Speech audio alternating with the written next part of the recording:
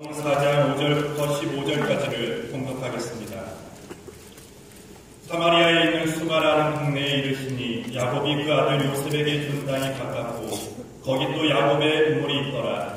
예수께서 행로에 권하여 우물 곁에 그대로 앉으시니 때가 제 시쯤 되었더라. 사마리아 여자 하나가 물을 들러왔음에 예수께서 물을 좀 갈라 하시니 이는 제자들이 먹을 것을 사러 동네에 들어갔음이러라. 사마리아 당신은 유대인으로서 어찌하여 사마리아 여자 나에게 물을 달라 하나이까 하니 이는 유대인이 사마리아인과 상종치 아니함이로라.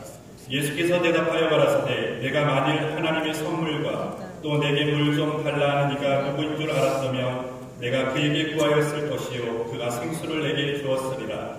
여자가 가로되 주여 물기를 그릇도 없고 이 우물은 깊은데 어디서 이 생수를 얻겠사나이까 우리 조상 야곱이 유물을 우리에게 주었고 또 여기서 자기와 자기 아들들과 짐승이 다 먹었으니 당신이 야곱보다 더 크니이까 예수께서 대답하여 가라사대 이 물을 먹는 자마다 다시 목마르려니와 내가 주는 물을 먹는 자는 영원히 목마르지 아니하리니 나의 주는 물은 그 속에서 영생하도록 솟아나는 샘물이 되리라 여자가 가로되 주여 이런 물을 내게 주사 목마르지도 않고 또 여기 물 길러 오지도 않게 하옵소서.